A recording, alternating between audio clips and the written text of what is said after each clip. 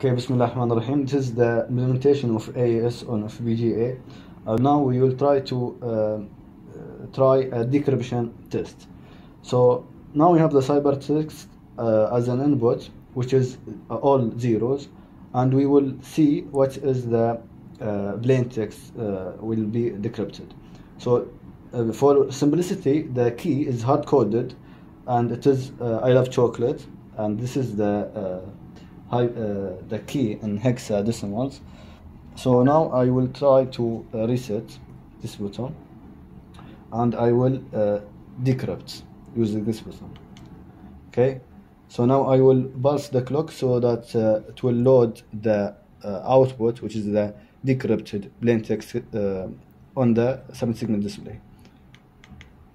So as we can see that this is the uh, first byte, bytes of the, decrypted text, and it matches here the uh, output which we was used using um, online verification tool 22CF21. You can see here 22CF21, and we can uh, shift to the other bytes 94CABF. You can see it here 94CABF, and the last fragment we have C4 uh, C7 4C 74 which is exactly the same thank you باقي واحدة كمل